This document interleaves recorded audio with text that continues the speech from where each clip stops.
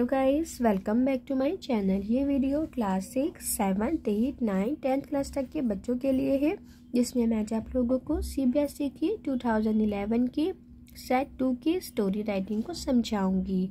तो I hope आप लोग इसे बहुत अच्छे से समझेंगे और सुनेंगे। अ ग्रुप ऑफ़ विलेजर्स यानी एक गाँव वालों का झुंड विलेजर्स मतलब गाँव वाले। वॉस स्टैंडिंग स्टैंडिंग मतलब खड़े होना, जो खड़े हुए थे near a pond in the evening एक एक तालाब के पास शाम में इवनिंग मतलब शाम दे सो उन्होंने देखा the reflection of the moon उन्होंने रिफ्लेक्शन देखी मून की.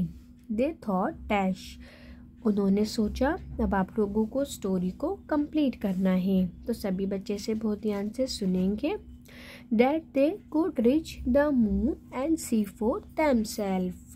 वो मून को देख सके and see for themselves और और अपने आप को देख सके। सी फोर दैम सेल्फ यानी अपने आप को। They jump into the pond तो इस तरह उन्होंने उस तालाब में छलांग लगा ली। And found that the moon was wavering और उन्होंने पाया जो मून था वो वो जगमगा रहा था। वेवरिंग यानी जगमगाना। It was due to the movement of the stagnant water ऐसा इसलिए था बच्चों, क्योंकि जो पानी की मूवमेंट थी, वो हिल रही थी।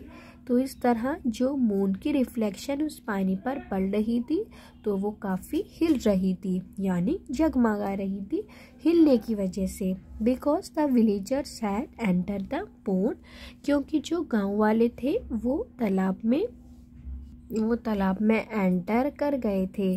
नॉन ऑफ़ द विलेजर्स को touch none of the villagers को टच और सीधा मून तो उनमें से कोई भी गाँव वाला ना तो मून को टच कर पाता है और ना देख पाता है।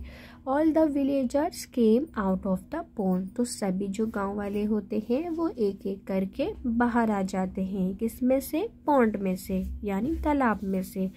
The moral of the story.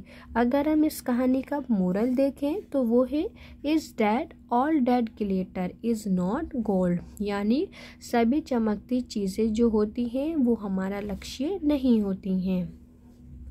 तो यहाँ से स्टोरी कंप्लीट होती है। आप लोग भी अपने एग्ज़ाम में मोरल ऑफ़ द स्टोरी लिखेंगे, ताकि एग्जामिनर का एक अच्छा इंप्रेशन आपकी लिखी गई राइटिंग पर पड़े।